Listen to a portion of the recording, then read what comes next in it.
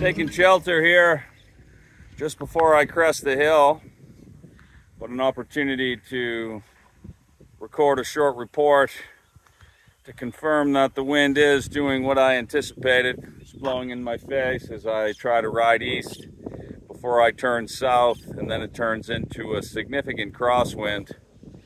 Strongest winds this morning so far, the gusts are somewhere around 25 miles an hour. Gust happens to coincide with the truck passing me going the other way.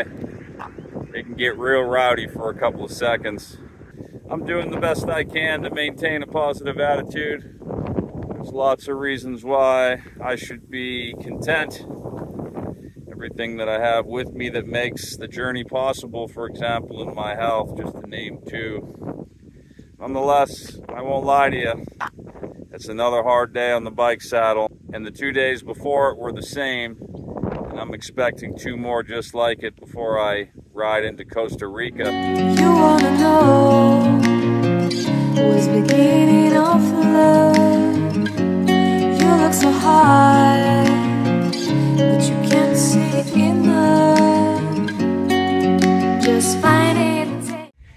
Just preparing to depart this beautiful eco lodge in Nicaragua, making my way in the direction of Costa Rica.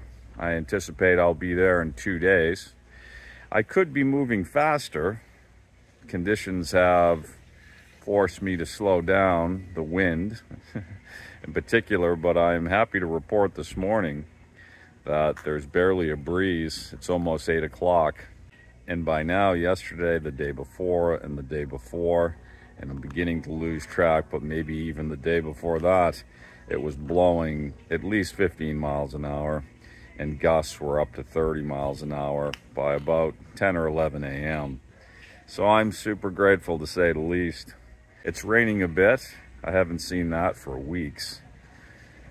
But I'll take that instead of that strong wind for sure. Making my way down the big lake, Lake Nicaragua, I believe is one of the names for that lago.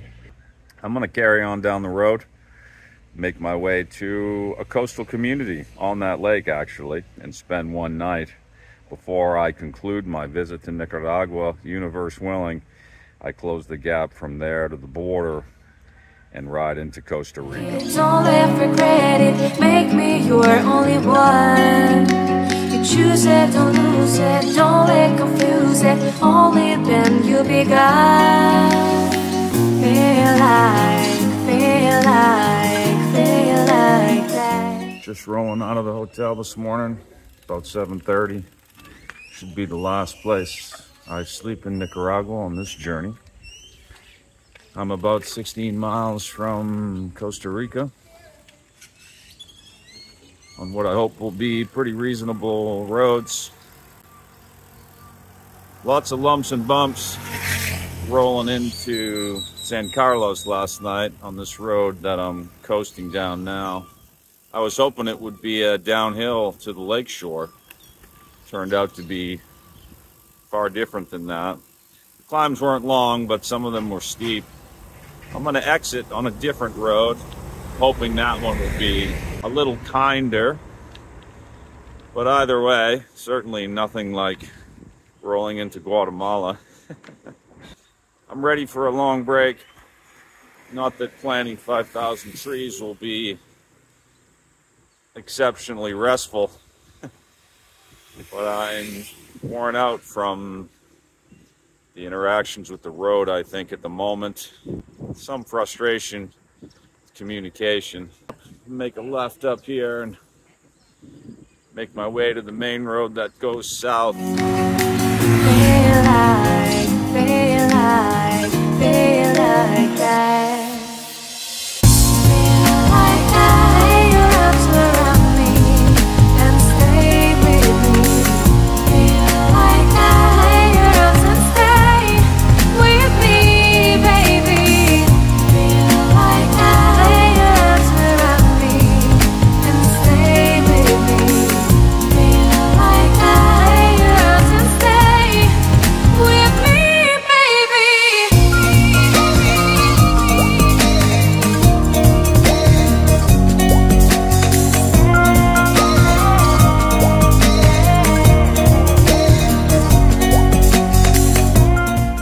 Was not fun.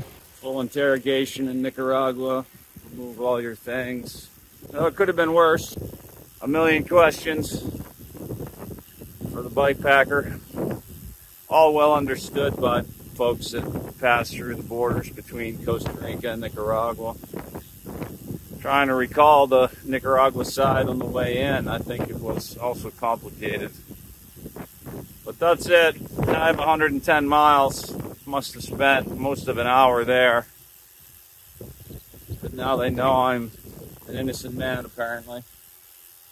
This practice of treating you like you're a criminal at the border is very difficult for me to absorb. I never get used to it. Time to reboot.